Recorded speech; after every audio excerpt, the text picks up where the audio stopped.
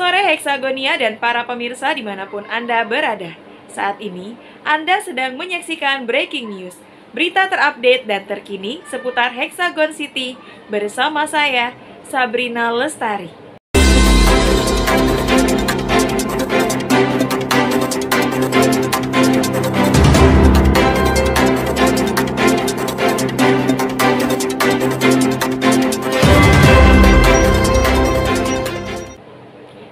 Kalender pembelajaran, bahwa ada beberapa deadline yang harus diselesaikan oleh setiap co-house dan hexagonia.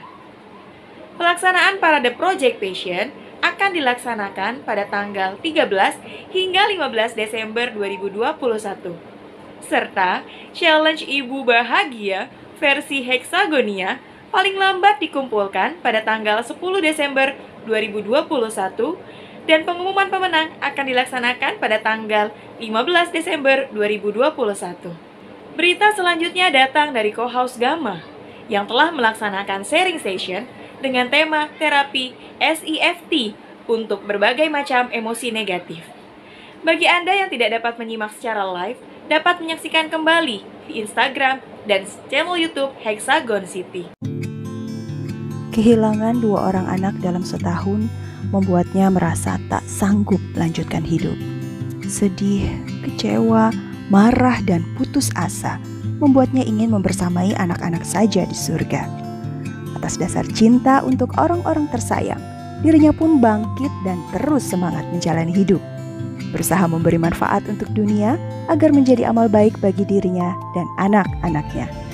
Simak kisah Mekarisma Patmasari tentang terapi SIFT yang membantunya bertahan hingga kini. Dipandu host Romadona Yuniarto, live di Instagram Hexagon City Selasa 7 Desember 2021 pukul 14 waktu Hexagonia Produktif.